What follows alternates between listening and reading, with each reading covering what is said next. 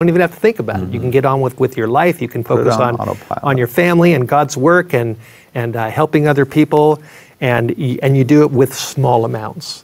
So little bits add up as time goes on. And that is a very smart way to practice the wisdom of hands and to, uh, to grow your funds for your future. And as you know, I've developed a whole course on this called Grow Your Money with God.